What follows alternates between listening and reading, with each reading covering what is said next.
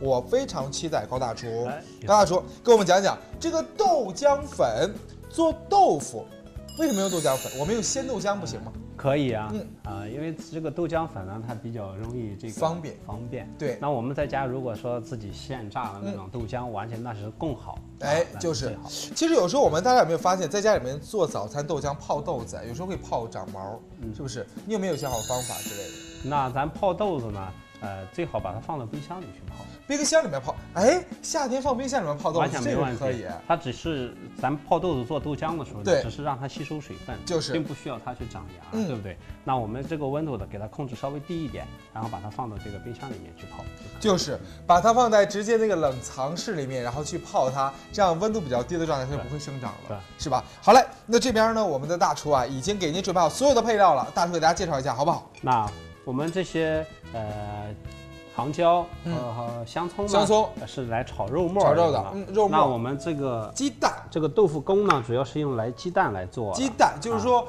它跟做那种啊那个日本豆腐差不多，就是一定要有鸡蛋，否则不嫩的。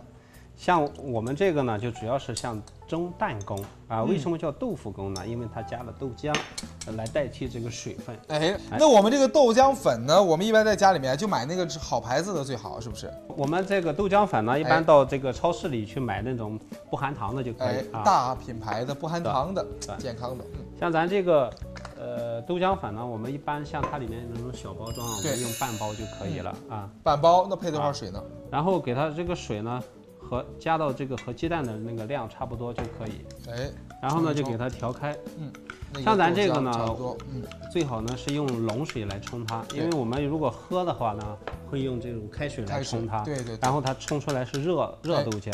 那我们要往这个蛋液当中混合呢，嗯它冷水的混合是比较好的，啊就是不要温度，啊就是直接冷水这样调，只不过你费点事，然后让或者说呢容易。，我们用这个热水冲调好了，然后呢给它放凉，嗯然后呢再和这个鸡蛋去混合。那如果您在家里面啊，早晨的时候做早餐，哎，剩一杯，你可以把它提前放在冰箱里面冷藏着，啊等晚上的时候再做，这个是最好，啊是吧？对。总之早晨的时候也得喝豆浆嘛，是吧？如果我们不喜欢吃这个豆浆味儿呢，哎，我们完全可以用水来做，没错，这算是一个化学变化吗？不是一会儿就物理的混合物理的啊。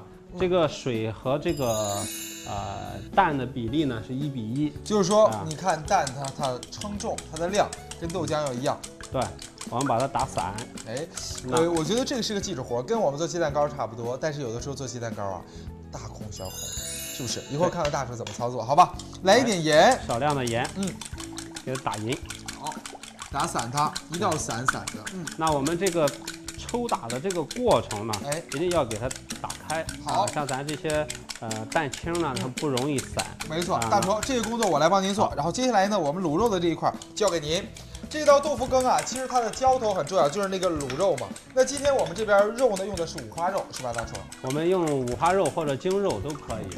咱这个那个不需要它特别的那种香口，因为哎这个非常滑。对啊，我觉得能想到它那个口感，肯定跟那个鸡蛋蒸啊差不多，来是不是？来，我们把它找到盘子里边。好，这就可以了。那这个我们打散之后呢，它上面会有一些这是漂浮的泡沫。泡沫这个泡沫呢，我们用筷子给它不要泡沫啊，不要这为什么不要泡沫？？大厨，用筷子给它一隔啊，泡沫会有不一样吗？大厨？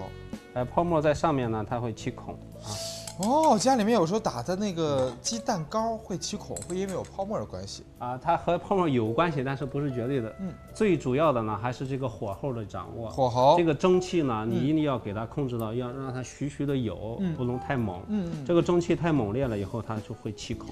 好，这样子直接放在我们的锅里面。那火我们怎么来控制？大厨肯定不能太大呀，先要大火给它烧开，先烧开。啊，然后关到这个内环火，啊，就是这个火苗最小的那个对最小圈的那位置叫内环火，给它做，然后给它关到这内环火以后呢，差不多有十分钟到十五分钟就可以。哎，就是说蒸个鸡蛋羹，你大概需要十多分钟的时间，大火烧开，小火慢慢用那个蒸汽煨着它。好了，既然是浇头卤肉的这个豆腐羹啊，卤肉怎么卤呢？大厨给您教教招。那咱这边另起一个锅嗯，好，啊，给它加点凉油，凉油下进去。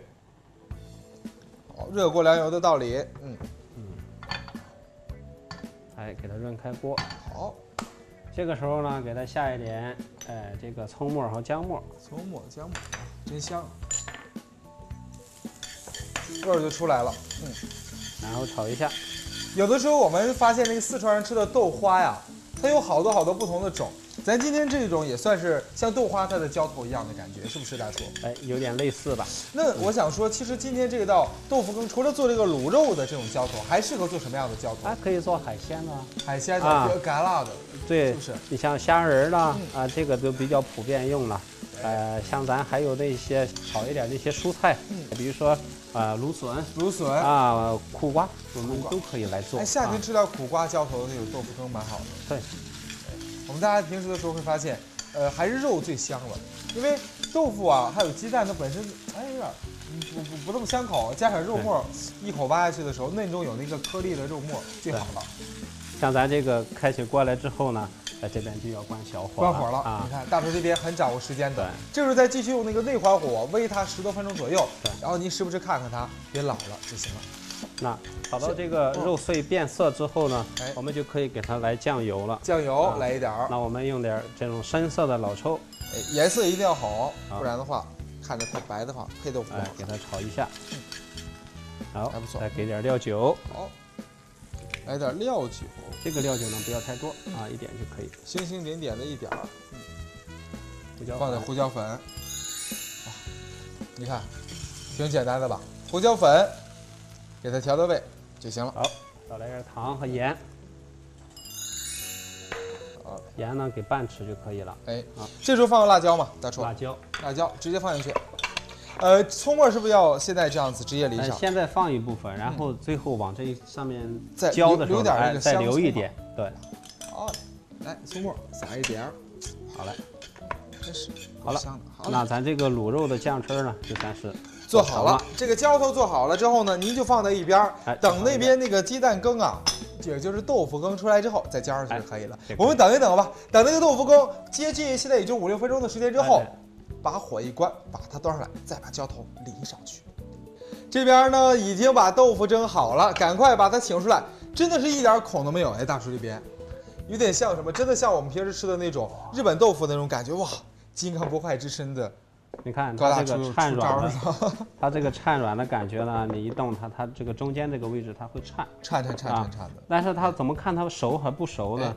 哎，你把它歪，哎，把它斜一下，哎，它啊不流动了，如果它有一个方向会鼓起来，那它是不熟的。里面还是有流动的水。对，它的里面，它如果是不熟的话，这个地方会鼓鼓对一下，对然后呢，你可以看到它不熟。没错啊没错没错。那我们蒸好之后呢，我们这个炒好的这个卤肉呢，哎哎，我们就可以给它放进去了。放上去，来来一点儿，多淋一点儿，哎，这样子吃起来香。所以这吃这道菜用勺子一挖挖一口，哎怎么看都怎么像豆花呀。好了，好了。这么好吃的菜。